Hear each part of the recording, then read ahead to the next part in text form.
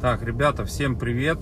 Uh, у нас сегодня вот такая вот погодка пасмурная. Ну, слава богу, дождик закончился. И пока мы сейчас с вами двигаемся по пробочке, двигаемся в сторону фруктов. Там у нас много объектов, там мы много снимаем для вас ремонтов. Вот, и по пути давайте, знаете, на какую тему с вами поговорим, потому что интересные темы сейчас новые какие-то появляются в плане того, что вот, например, застройщики, о которых я в прошлом видео с вами поговорил, э, что они будут принимать какие-то интересные программы. Э, можете посмотреть предыдущее, оно было вчера видео. Вот. А сегодня я тоже ну, получил такую информацию о том, что застройщики уже начали предлагать э, свои предложения в ипотеку, да, то есть э, квартиры, и э, дополнительно э, делать будут ремонты. Вот, я, честно говоря, не видел качества конкретно, допустим, этих застройщиков в Сочи, которые там выполняют ремонт. Мы это, возможно, увидим э, когда-нибудь позже, как только они будут сдаваться, эти квартиры, и люди их оценят. Но первично я могу просто высказать э, свое мнение, что такое ремонт от застройщика, особенно когда он там делается в типовом а, проекте. То есть э, в понимании у людей а, ремонт от застройщика, да, это то, что вы там придете, расскажете ваши пожелания, выберете цветовую гамму и все. Но вы знаете, вот если в Москве, там, не знаю, там может быть пик предлагает буквально пару вариантов, да, э, цветовых каких-то решений, не более того. Но вот смотрите, есть стандарт, по которому застройщик э, делает вот типовые свои ремонты.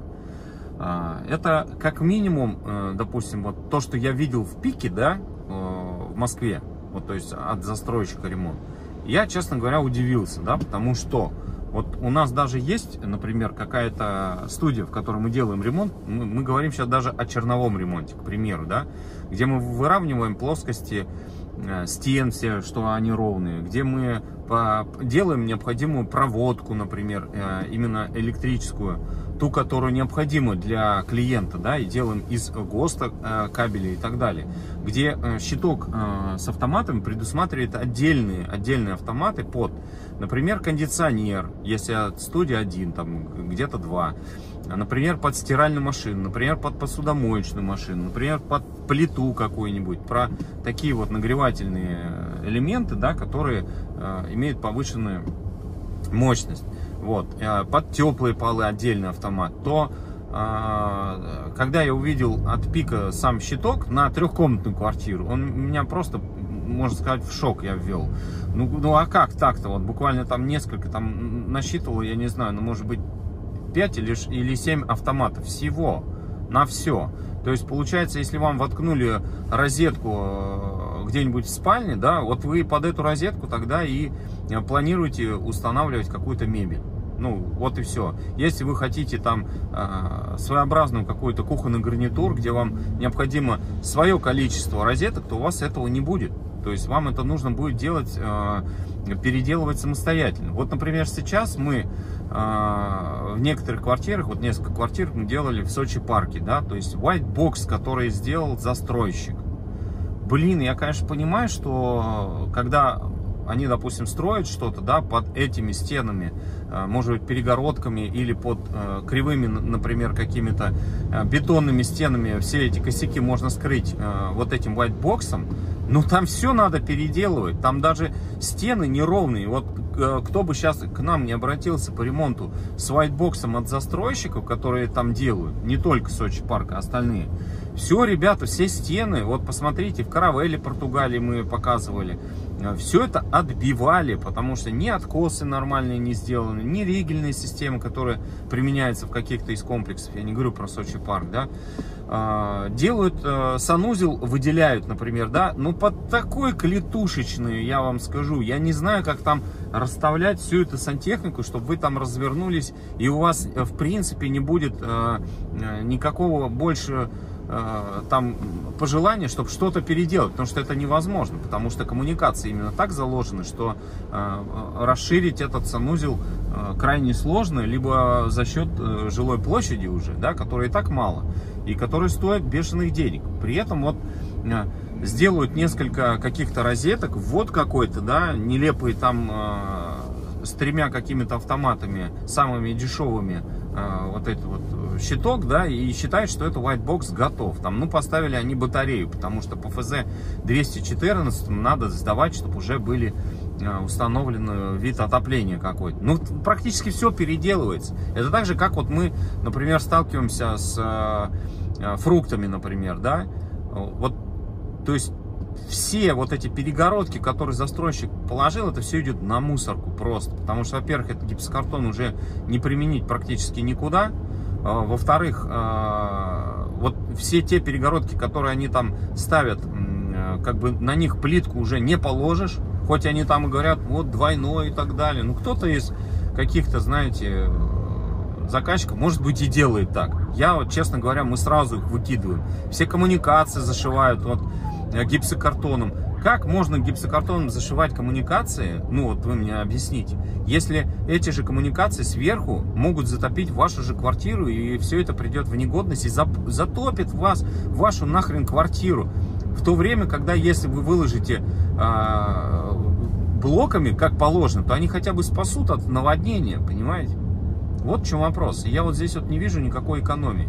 Поэтому те люди, которые хотят и думают, и планируют э, покупать, так сказать, квартиры с ремонтом от застройщика, хорошенько подумайте. Это не потому, что, например, вот мы занимаемся ремонтами, они составляют нам какую-то конкуренцию. Абсолютно нет. Просто потому, что люди будут покупать такие потом квартиры, и потом говорить, вы знаете, переделайте. А за переделку придется платить. Поэтому я и предупреждаю о том, что все вот эти вот э, перегородки, которые застройщик ставит, электропроводку, которые там делают. И не только я говорю про те э, новостройки, которые уже сейчас по ФЗ именно строят. Есть сейчас такие и застройщики, которые апартаменты наделают какие-то, да, а потом вот нам приходится переделать. Мы уже такое делали, и мы показывали, в чем подвох, в чем разница, понимаете?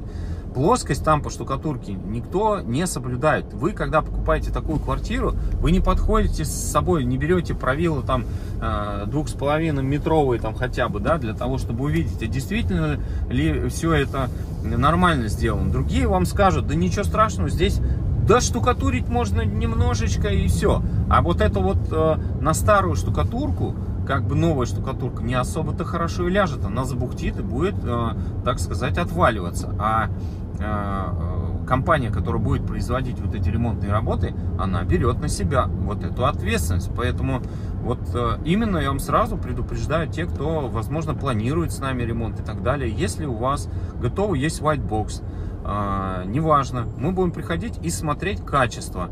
Если вас устраивает именно это качество штукатурки, которое э, сделал застройщик, например, вы там под сдачу, например, э, сдаете квартиру, вы считаете, да пофигу, пускай такие будут стены. Если вы не будете делать там, например, покраску стен, где нужно идеально, просто идеально под лампочку делать всю плоскость, которую можно сразу заметить с кривыми стенами, то, пожалуйста, мы оставляем стены как есть, вот, и не выравниваем и не даем гарантию именно на э, саму штукатурку. Вот и все.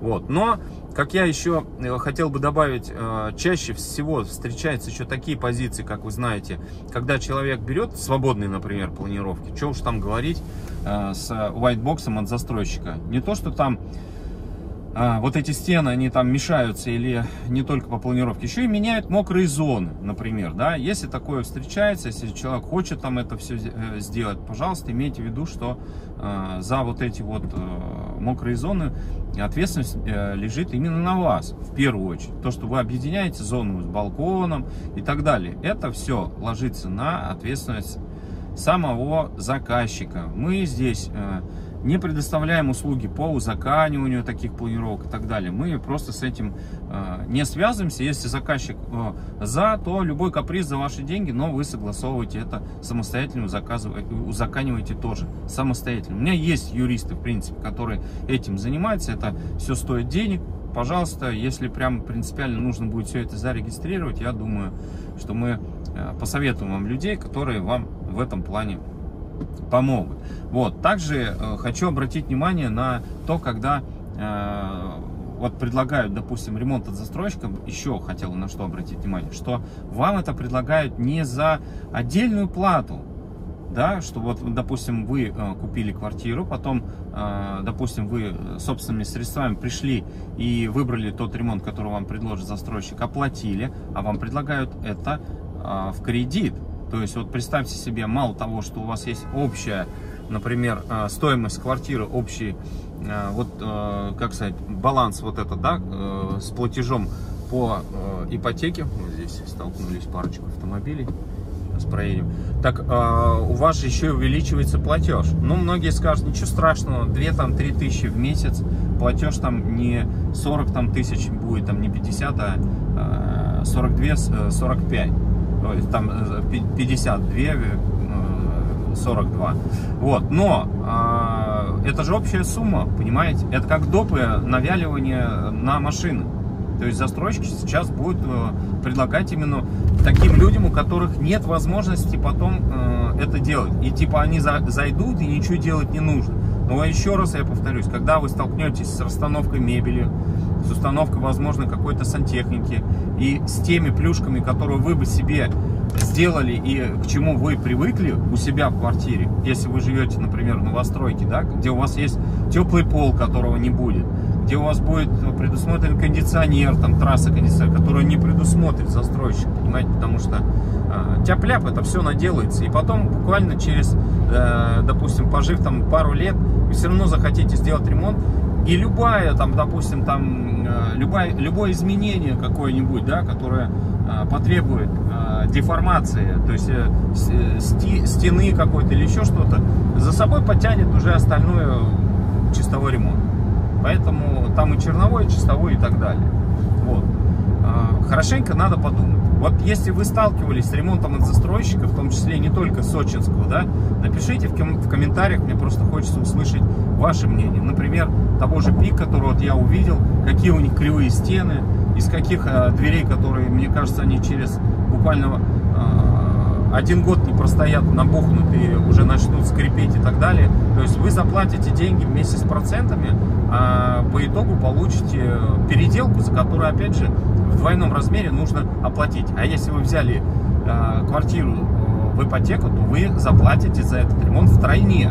То есть, чтобы вы понимали.